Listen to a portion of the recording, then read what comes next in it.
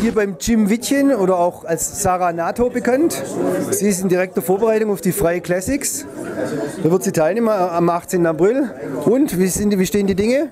Sehr gut stehen die Dinge.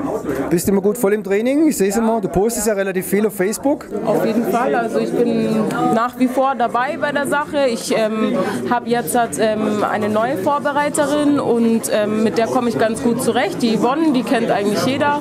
Sie begleitet mich auch in meinem Training und ähm, ja, es läuft eigentlich alles ganz gut und ich bin auf jeden Fall bereit für die Frey Classic.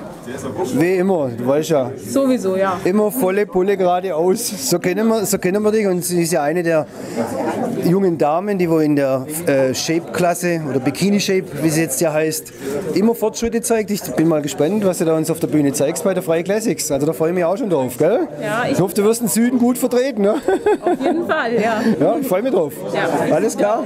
Danke dir. Dankeschön.